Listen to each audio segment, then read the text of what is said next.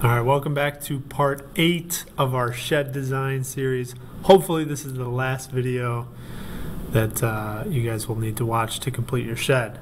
So let's get started. Today, we're going to be making a wall section and we're going to be cleaning up a couple other parts of our drawing that maybe we messed up or maybe we just need to update to meet our project requirements. So we're going to start out by opening up our floor plan. So I'll go ahead and do that. And then we're going to go to the view tab up here. Then we're going to click section. So that's going to allow us to create a section view. We want a wall section. So we're just going to section our wall and we're going to start by choosing uh, the inside. We want to choose a wall uh, that's going to allow us to see the slope of our roof. So in this case, we're going to try to choose this wall or this wall. I'm going to choose this wall because this one has our siding. This is our updated wall. At least I think it is. We'll find out in a minute. We wouldn't want to do this one because as of right now in my drawing, it's just a basic wall. Um, when your shed is all done, all of your walls are going to be either siding or brick or some other sort of wall that you created. We want to do a section of our wall with siding that we've spent a lot of time creating. So we'll start by clicking on the inside of our house, and then we're going to click on the somewhere outside of our house, and that's going to create that section. And from here, can we flip this around? Let's flip it around so it's not facing towards like our cabinet. We want it facing uh, towards like the front of our house or actually or the back of our shed. Okay, so then from here, we should be able to see our section now. It's going to show up under wall sections. It's just calling it section two, so let's take a look at that.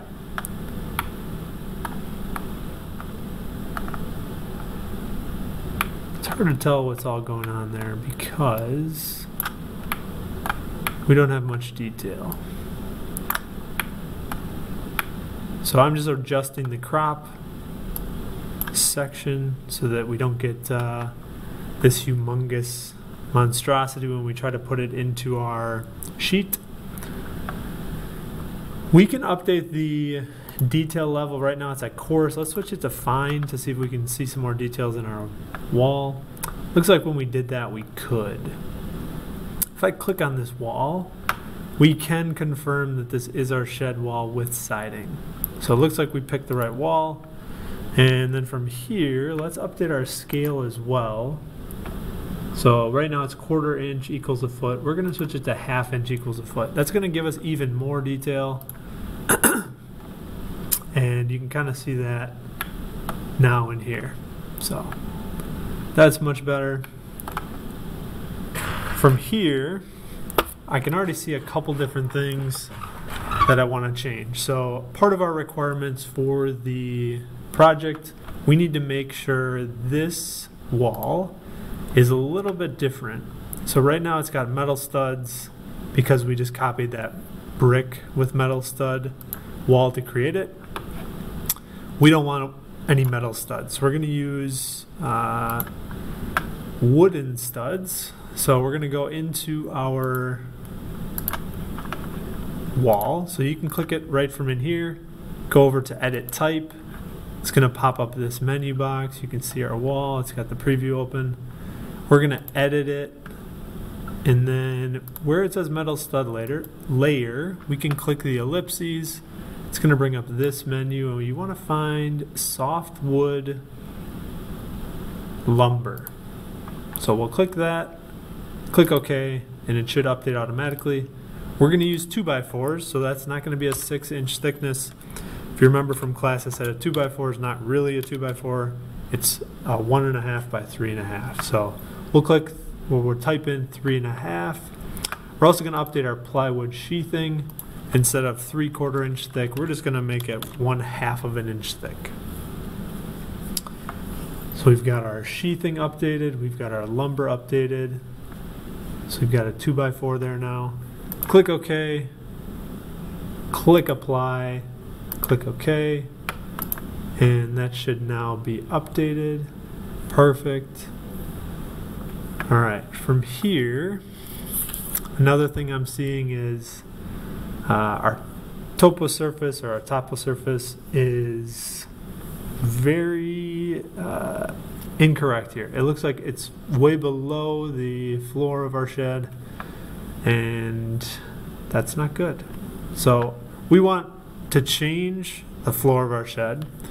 We're going to change it to a six inch concrete floor instead of our fancy wood floor. So let's do that. And now our grass is even further away. So we want our concrete to actually be kind of dug out into the grass. So we're going to try to bring our grass up even with the floor. So instead of having an offset, we're just going to do zero inches. Apply that. It's going to say they overlap. I'm just going to say okay. And look at that. Now our grass is pretty much even with our floor. Let's go back to the 3D view and just check that out. Let's make sure we don't see any grass inside of our house or inside of our shed. Um, it looks like we don't. I was worried because they're the same height that you might see the grass. It looks like you can kind of see it there. What we can do, oh, there it is again. What we can do if we're worried about that, let's go back to our section, click on the grass, Let's just offset it like negative uh, one fourth of an inch. So that way it's definitely like always below our floor. And go back to the 3D view. That looks better. You can see in there we've got our concrete showing.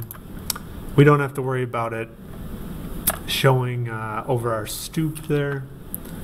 So from there we can go back to our uh, section view and I'm seeing that this maybe isn't lined up with our wall so let's just go check our floor plan make sure everything is good there um, I need to click on my floor so I'll go into my 3D view to do that and it looks like everything's pretty much lined up. Maybe this one's off a little bit.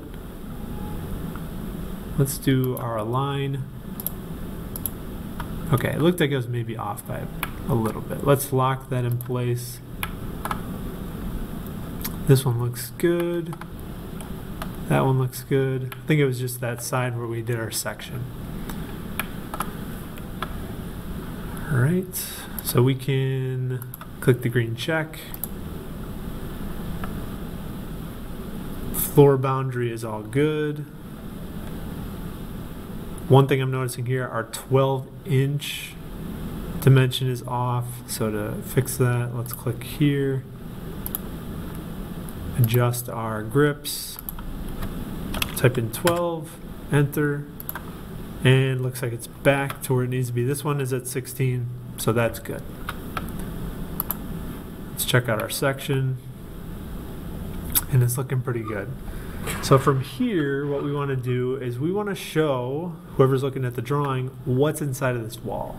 So one of the things we're going to do is we're going to add some insulation. And insulation, I kind of have a personal vendetta against insulation in Revit because you have to do it manually. You can't do it as like part of the wall layer, or at least uh, when I was trained on this, they didn't show us how to do it automatically. So we're going to adjust our insulation width over here to, oh, where'd it go? We're going to adjust our insulation width to seven and a half because that is the size of this gap in the roof. So we'll start it roughly even with the edge of our wall and then we're just going to drag. We want it to be pretty much right in between the gap from here to here, from here to here. So try to position it to the best of your ability. That looks pretty close. I may need to adjust this side a little bit. So I'm going to hit escape just so I'm out of my insulation tool. Now I can click on my insulation I placed and I can try to maybe reposition it a hair. Okay, that's not bad. It doesn't need to be exact. This is more just for a visual. Um, let's try to extend it a little bit further out, like that. Again, none of this is an exact science. Just do your best. Try to get it in that little gap. Then our wall insulation is going to be three and a half inches because that's the size of our two by fours. So set it to three and a half, click apply, and then you're going to start this one kind of up there. Drag it all the way down as close as you can get to the ground. Ooh, I did a pretty good job on that one. Looks like pretty much nailed it right in our gap. Perfect. So that's done. You can hit escape a couple times to get out of the insulation tool. And then from here, we're going to start annotating our section. So we want to label what all these different materials are that make up our section. So we're going to follow this screenshot. This is found on the website. So I go full screen here. You can see some of the stuff we're going to be labeling. So we're going to label this batt insulation. Then we've got our rafters, 2 by 8 We've got our asphalt shingles on the top. We've got more insulation in the walls, gypsum wallboard on the inside of the wall, cedar siding on the outside of the wall, half inch plywood sheathing. We've got our 2 by 4s and a 6 inch concrete slab at the bottom. So I'm going to put this over on my other um, monitor here and then I'm going to go ahead and start labeling this. So let's hide our crop region. There we go. And then to annotate, we're going to go into text. So that's under the annotate tab, text. And we want to have those little leader lines that you saw here. So the leader lines are those horizontal, then angled with an arrow at the end.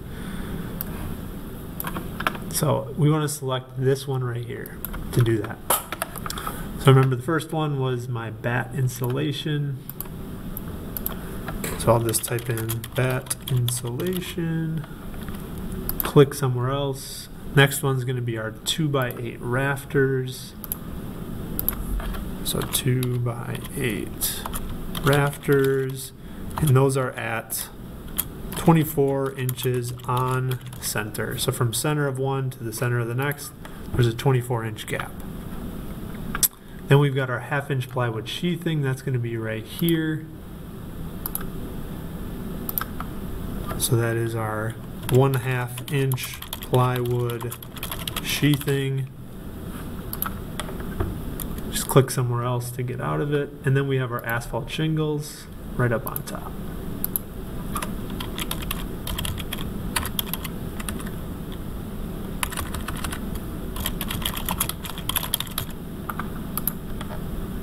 Okay, that's it for the roof. Now we need to do our wall. So we'll start with our batt insulation. In same as the last one. Then we've got our half inch gypsum wallboard on the interior of our wall. So one half inch gypsum wallboard. Then we've got our cedar siding on the outside.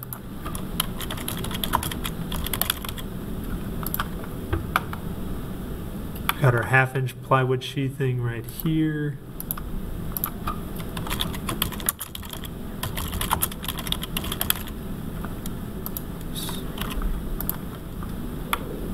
Then we've got some 2x4 studs.